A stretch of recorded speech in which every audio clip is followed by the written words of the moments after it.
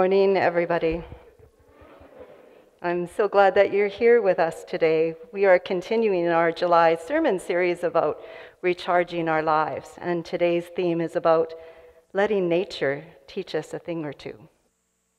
At Woodcliff, we strive to celebrate joyfully, care deeply, and to make a difference for those in our faith community and in the world around us. I'd like to thank our worship team this morning. You may have noticed we had a pianist here this morning. If you haven't met her yet, that's Nigel's wife, Elizabeth. So thank you for, for uh, honoring us with your gifts this morning. And we'd like to thank Charlotte and Nigel on tech, Kathy and her team on hospitality, and Tom Standerwick for, for reading this morning. But before we start, let's go ahead and light our Christ candle. So I invite you to take a moment to breathe and drop into your hearts and just become present to God while I light the candle, and then we'll say a prayer.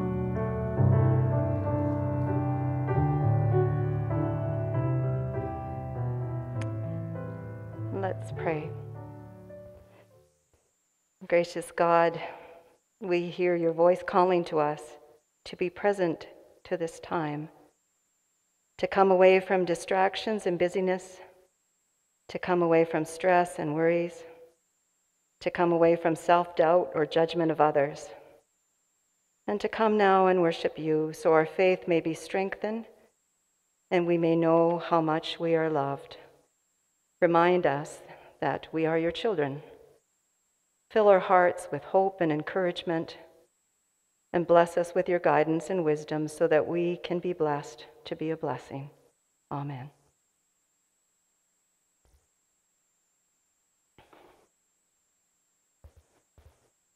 What is land acknowledgement?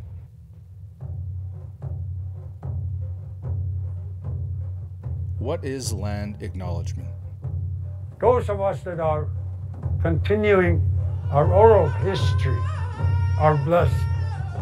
What Those of us that are continuing our oral history are blessed. What we shared, that was told from way back. We were part of the ecosystem. We were not masters of it. You know, after we grow up from our biological mothers, the earth becomes our caregiver. Everything that we need is there. We were raised to believe that everything has a spirit and that everything around us is alive and has a purpose. The spirit of the land and our spirit. You can't separate land and people. In Treaty 7 territory, I'm accepted, I'm something, and I'm with my people. We honor our ancestors by acknowledging Treaty 7 territory. We acknowledge the Treaty 7 nations, the Piikani First Nation, the Siksika First Nation, the Kainai First Nation, the Stoney Nakoda First Nations, and the Tsuut'ina First Nation. We acknowledge the ancestral territory of the Siksikaitsitapi, the Blackfoot Confederacy, and the home of Métis Region number 3.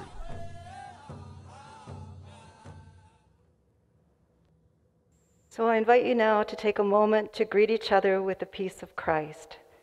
May the peace of Christ be with you.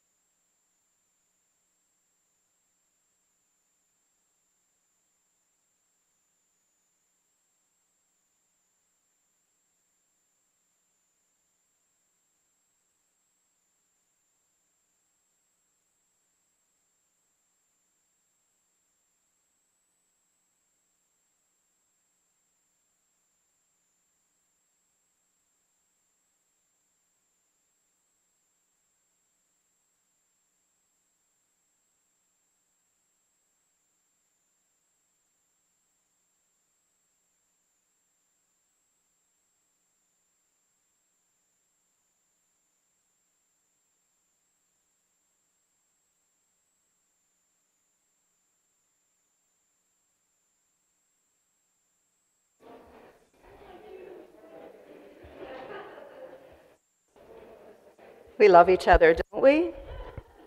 Yeah. Join me in the call to worship. The kingdom of God is like, the kingdom of God is like, the kingdom of God is like, the kingdom of God is growing in ways we can't even begin to notice or imagine. I invite you now to stand in body or spirit to sing our first hymn.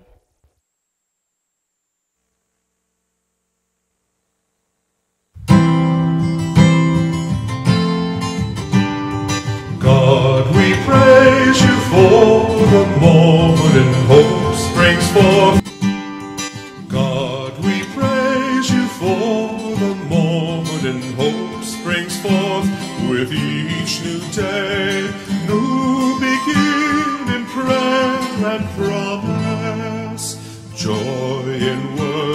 Play.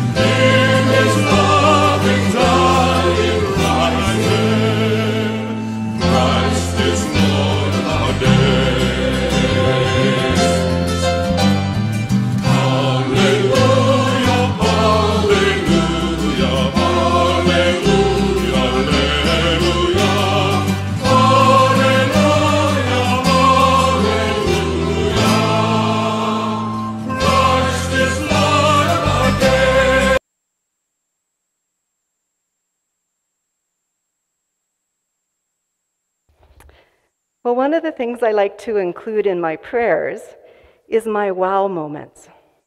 Do you know what wow moments are? No? Those are the moments when you're struck with awe or wonder, where you go, wow. Right? You see the morning sun and it's that beautiful sky, and you go, wow, God. Right? So I was thinking of my wow moments this week. I spent some time with some lovely people out in the front yard. We were doing some nature journaling. And they went off and they connected with nature and they came back and they were sharing. And I thought, wow, God, wow, look what they noticed. Look at how nature spoke to these people. And if you missed that, I hope you're going to join me that in the next Lift Your Spirit event coming up, not this week, but the week after. And every day I look out my window and the sky, maybe it's just because I'm back in Calgary, but that blue sky and those clouds, I just explain, you know, exclaimed, "Wow, God, what a beautiful day this is." So I was wondering what wow moments you've had this week. I'm going to grab my mic and I'm going to come down there like Donahue and I'm going to ask some people. And if you'd like to tell me about a wow moment you had, just in a sentence, we don't need a whole paragraph this morning, but just in a sentence, put up your hand, okay?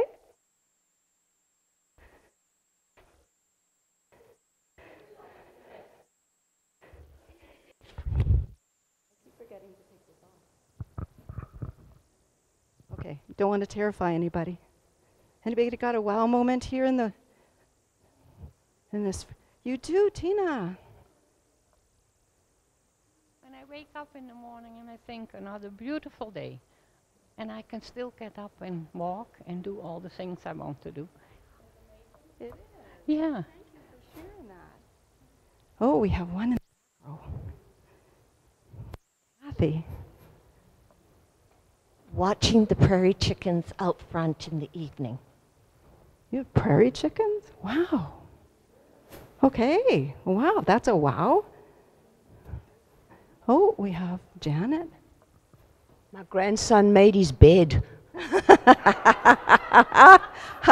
That's a wow moment. All right. John. Last year, the bunnies uh, clipped my lettuce off right at ground level. This year, I've got two complete rows. That's a wow moment. That is a wow moment. Yeah, the bunnies have left your lettuce alone. Okay, I'm going to this side. Anybody got a wow? You got a wow, Carly? Morning sunsets over the mountains. The best, right? The best. Okay. The gorgeous full moon uh, when I was down at the Stampede and all the fireworks were going off, and here's the moon. And it was stupendous. That's beautiful. The moon. The moon. Sorry? Oh, one more at the end here. All right. Sandy. Releasing butterflies in memoriam of people who've died at my cous- husband's care home. Oh, so beautiful. Thank you. Wow, for sure. Yeah. Okay, last chance on this side. We, we saw two deer by a, a mountain stream when we were out on a hike on Friday. So beautiful. God's creatures, right? Yeah.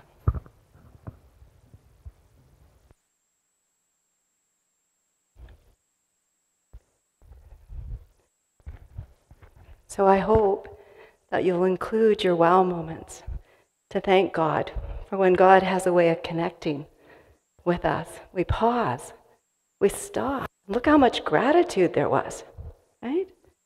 Yeah, and I hope you'll share them, especially with me. Thank you.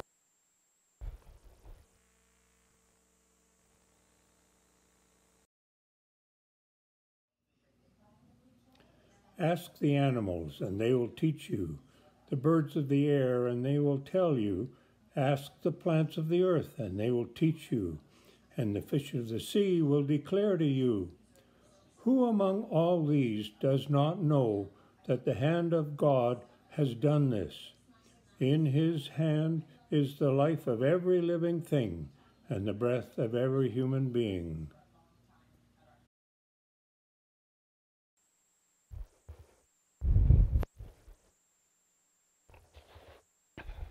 Let's pray. May the words of my mouth and the meditations of all of our hearts be acceptable to you, O God, our rock and redeemer. Amen. So let me ask you who's enjoying summer so far? Yeah? Yeah, pretty much all of us, hey?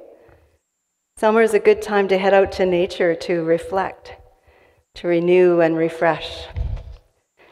Whether you're digging your toes into the sand or your hands into the earth or hiking in those beautiful mountains, this is one of the best seasons to enjoy creation. It's a time to let the beauty of God's world bless us and touch our hearts. Do you remember being a child? Maybe we're lying in the grass watching a caterpillar wiggle across the earth. Or just laying in the grass and looking up, looking at those beautiful fluffy clouds that pass by. Or maybe you liked looking up at the stars at night or the moon, right? Maybe you felt very small looking up at that big, beautiful moon. Well, nature has the power to cause us to pause and be still. Some of us, of our biggest wow moments, come from nature. Those beautiful sunrises or sunsets, incredible flowers, the majestic trees, the breathtaking whales. Or I get to look out my window and see these little amusing little squirrels that seem to play all day long. It always brings a smile to my face. For centuries, monks and mystics and other people have drawn inspiration from the natural world. St. Patrick, for instance, first learned to pray outside during his years as a slave. Nature somehow had summoned deep, deep prayers from within him. And eventually it was how he learned to hear God, how he learned to listen to God. The Celtic tradition recognized that nature is God's first revelation and that the whole of life is an expression of God. There was an emphasis on the goodness of creation, an emphasis on all of life being sacramental. The incarnation was a living and breathing concept, felt most keenly in creation, among the trees, the mountains, the oceans, and the rivers. For many of us, St. Francis is probably the one that comes to mind when we think of someone who connected to nature, who really connected to that beauty and that solace in nature. Abbie Farwell Brown from the Book of Saints and Friendly Beasts says sometimes Francis preached by candlelight, the candlelight of the stars. And often the trees were like a cloister that were along the roadside that made up his chapel. And the blue sky was the only roof between him and the heavens. His choir was the birds in the branches, and his congregation was a group of beasts.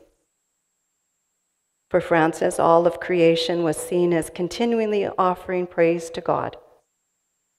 The great and the powerful sea, the wide sky, the creatures, the sacred trees, the force of the wind and the rain, all were seen as participating in a liturgy of praise to God. Francis believed that when people awakened to the holy presence in each flower, each tree, each bird, they suddenly discovered that they too were part of this beautiful community. And it changed them and transformed them. They found themselves nourished and supported in ways they hadn't experienced before.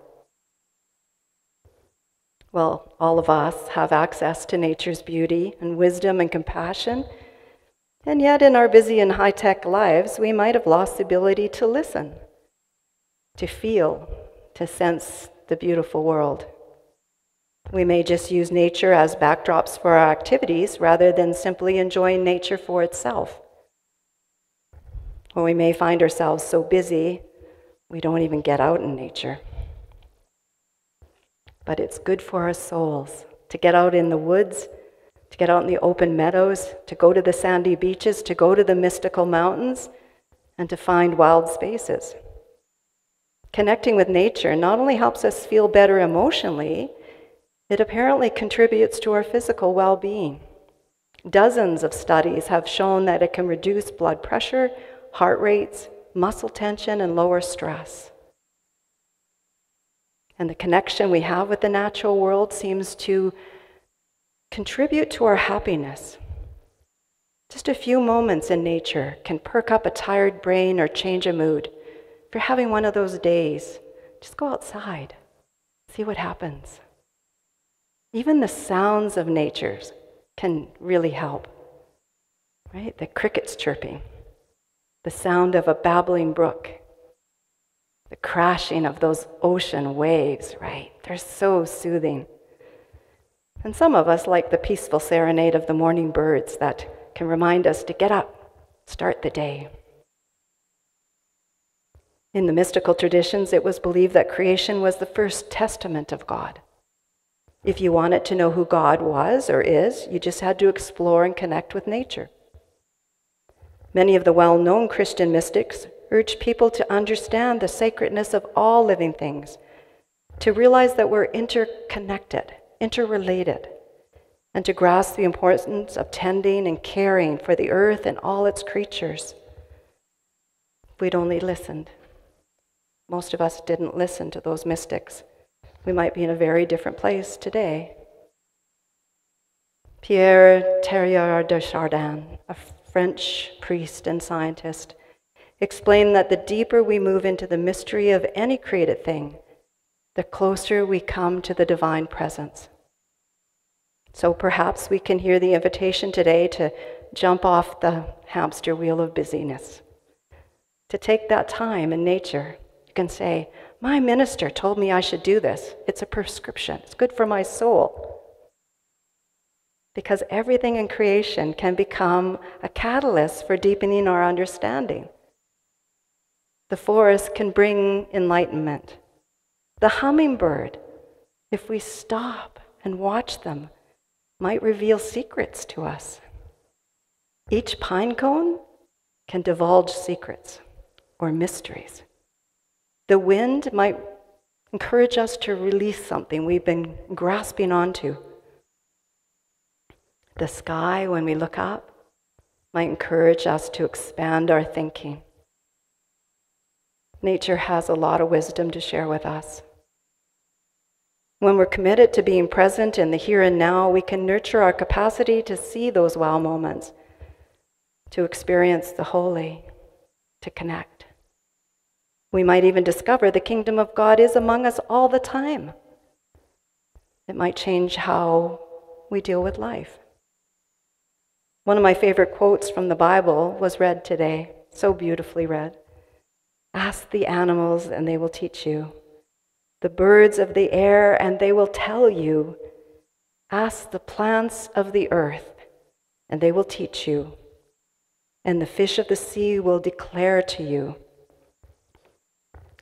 So I wonder what we learn from animals. Well, I asked a few friends this week, and they responded that they learned unconditional love from their pets. Their pet doesn't care what they look like, whether their hair is done, whether they've cleaned the house, or if they have their act together. They're just loved by their pets. One person described how much she loves walking with her dog.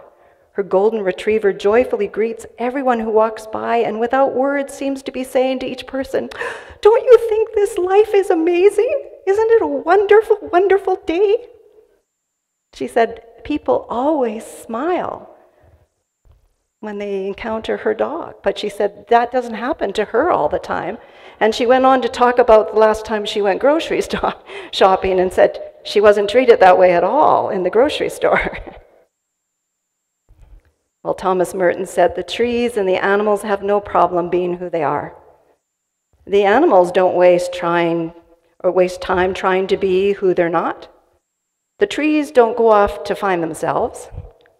They simply are who they are created to be. And in that witness, they reveal a path of yielding, of not resisting, of simply allowing their lives to unfold. Well, the Bible is full of childlike wonder and awe for nature. We hear Moses praising the great creator for the universe. David in the Psalms expresses awe by saying, The whole of earth is filled with awe at your wonders. Where morning dawns, when evening fades, you call forth songs of joy. And Jesus urged his followers to consider the birds and the lilies to see what they could teach them about God's care and God's love. Even the first story in the Bible tells us how God created and breathed life. I never tire of hearing that story of how God loved each part of God's creation. And I know it's just a story, and science has a different way to tell that story of how life began, but it doesn't diminish that beauty of that story in our Bible. It reminds me that God loved God's world, that God loves our world, all of it, all of it, even the nasty spiders, even the things that wiggle, all of it. And it reminds me, oh, I'm loved. Doesn't matter how I am, I'm loved. So, I invite you to spend some time this summer imagining the world around you as a sacred book full of wisdom. Allow the seasons, the elements, the creatures, the landscape, and the weather to offer you revelations of the sacred. Invite each of you to seek some time in creation. Remember, it's a prescription from your minister. You're supposed to do this. Listen to the birds, to the wind, to the flowers. Marvel at the sea creatures if you go near an ocean. Explore those forests. Spend some time just looking up at the sky. and notice all the wow moments. I invite you to play and to dream, to waste time, to laugh, to be silly, to become a child again. And I pray you'll let nature help you slow down and renew and refresh your life. Let's pray. Holy One, we bring our prayers to you now. Thank you for hearing our requests, the ones we can name and the ones that are very deep in our hearts. We pray prayers of thanksgiving for all the blessings of life and we take a moment to name those now silently in our heart.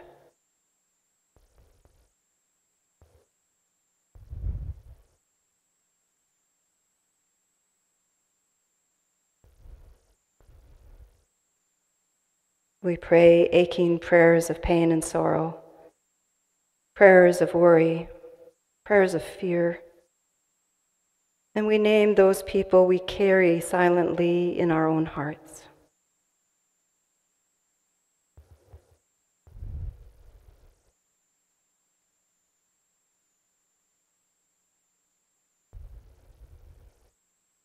We know your light shines in the darkness.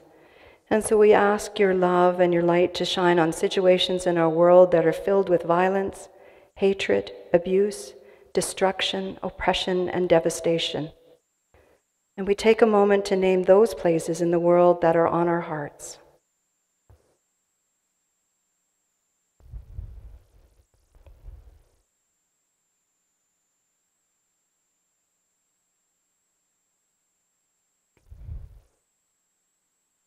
We pray for Woodcliff United Church, and we ask for your guidance and wisdom as we move into our new beginning. Empower and strengthen the staff, the leaders, and all those who give of their time and energy. Fill us all with your grace and your love, and help us to dedicate ourselves to your holy purposes. And let's take a moment to pause to offer our own prayers for our faith community or for our own faith journey.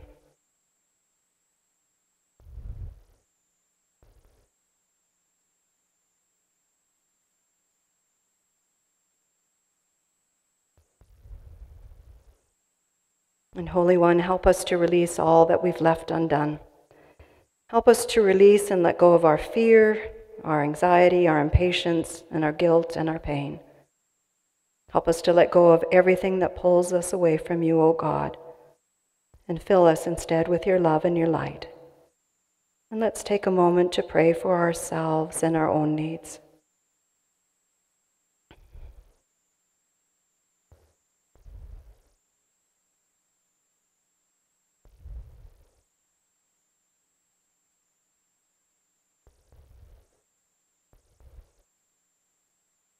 God of love and light, open our hearts to receive your loving spirit. Open our minds to receive your wisdom. Open our hands to show others your loving compassion. And together let us join in saying the prayer that Jesus taught us. Our Mother, our Father in heaven, hallowed be your name. Your kingdom come. Your will be done on earth as it is in heaven.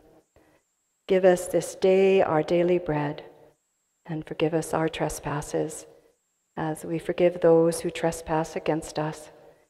And lead us not into temptation, but deliver us from evil. For yours is the kingdom, and the power, and the glory, forever and ever. Amen. I invite you now to stand in body or spirit to sing our next hymn.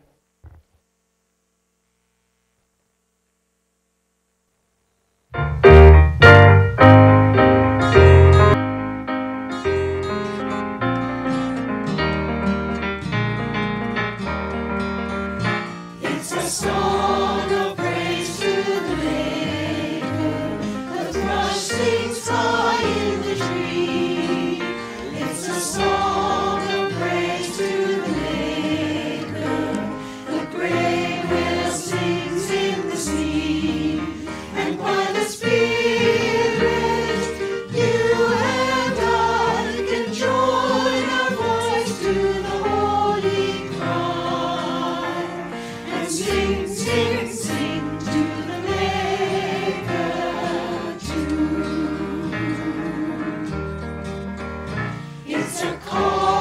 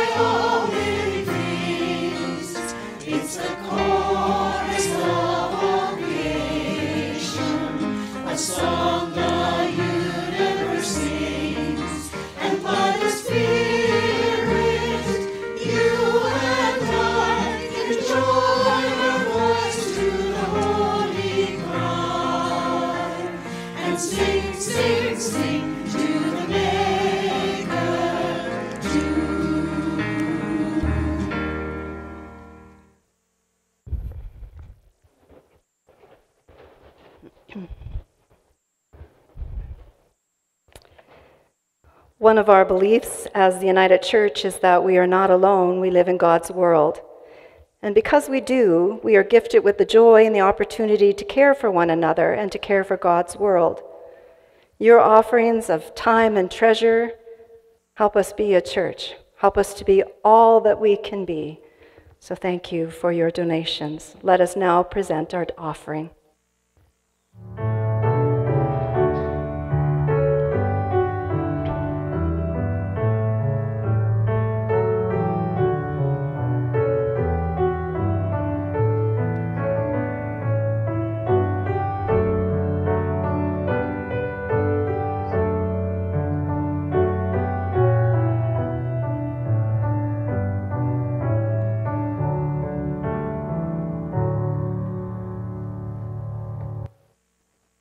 Let's pray.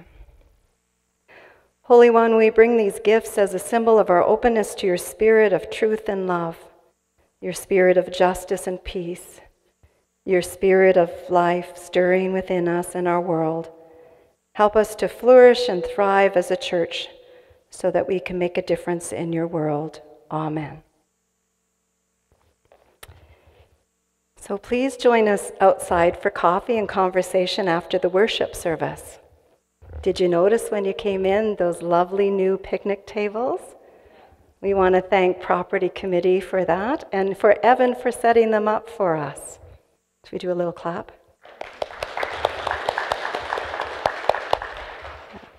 Everybody is welcome.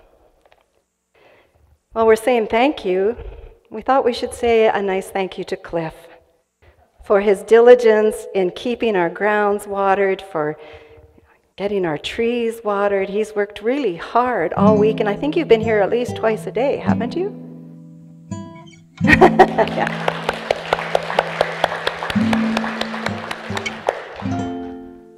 And then, of course, Lift Your Spirit Tuesdays continue on July 26th at 1 o'clock with Lectio. That's the art of sacred reading. So please sign up for that using the link in the messenger or by connecting with the office. And that one will be inside, so if that makes a difference to you. Our stewardship committee is busy organizing a fabulous online auction and celebration as part of our 65th anniversary. The auction will raise funds to better serve our church and community at large. Bidding on items will start mid September and will accumulate with a celebration and evening on October 1st. More details will follow in the coming weeks. In the meantime, please consider what you could what you can do that would be of value to others. For example, a dozen cookies a week, a week. Yummy. A monthly letter. Who doesn't want that? Lawn mowing, storybook time or handmade items. You might also have some treasures you'd like to donate. For example, we have a donation of a wood carved box. We'd also love a couple of big feature items. For example, a holiday home week. Thank you for sharing your gifts with Woodcliff and helping to make this fundraiser effort a success. Now I invite you to stand in body or spirit to sing Go Now in Peace.